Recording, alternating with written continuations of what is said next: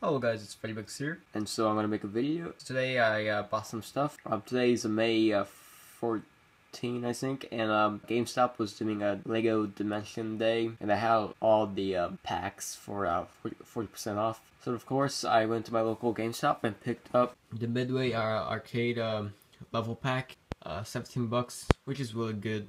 Um, really cheap. Um, I kind of wish I got the Ghostbuster instead of this, but it's still a good pack. And surprisingly, um, uh, they gave you a poster for any uh, Dimension Pack purchases, so I'm really happy about that. On the poster itself, it's not that big, and uh, the actual poster just shows um, a bunch of characters, and they're on these baseball cards, and it says the the best team ever or something something like that. And so I went to um, Barnes and Noble after that. and I found this a Lego eraser and a sharpener pencil. They these are so cool. Um, I also saw a bunch of other stuff. You know, you could get this on Amazon, but it's a little bit more expensive on Amazon. Um, but anyways, um, awesome that I got these.